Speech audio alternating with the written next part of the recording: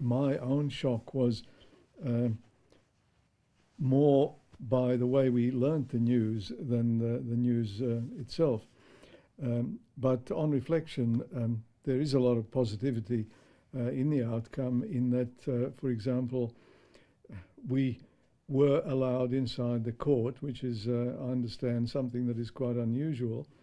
And, and the other thing is that um, um, the decision of the Court of Cassation was handed down uh, within an hour uh, following the, the hearing, the submissions. Less than that, I think. Uh, anyway. yes, so um, um, looking at uh, all the positives, despite some of our disappointments, uh, I think uh, overall it's been a good outcome today.